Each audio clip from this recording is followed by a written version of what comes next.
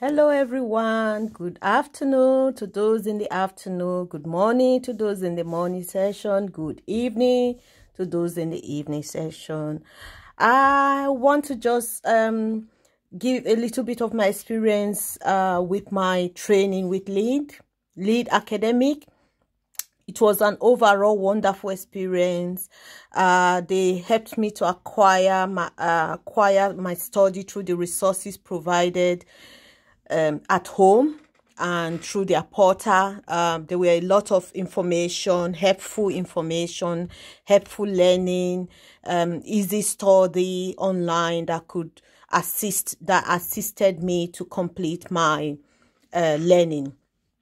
Um, and also, uh, um, I would say there are a lot of information, a lot of um, support through online study because uh, with the uh, with the trainers online, they give you a lot of examples upon examples that you could use um, that would help you in every area of what you were studying. And you could always go back to restudy if you forget. So it was very informative. My overall experience was very wonderful. It built my confidence in my uh, functional skill um, maths level 2 and functional skill uh, English level 2 and um, it helped me to uh, develop me in English and maths in the sense that um, uh, you have so much information, not just one information or one example. You have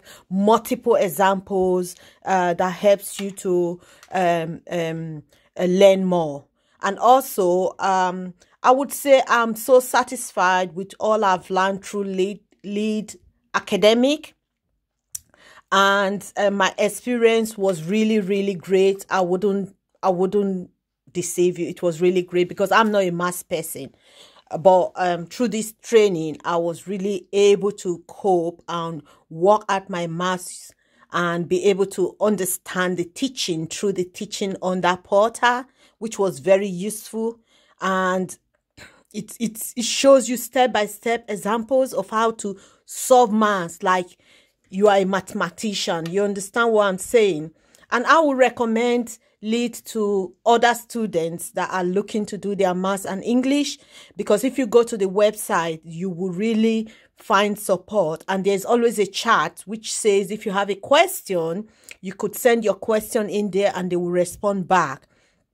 And I encourage us to hold on to uh, your confidence. Don't throw it away and say, oh my God, this maths is English. No, you would be able to use the lead academic um, um, site to complete your maths and English and have a good result. I wish you all the best. Bye.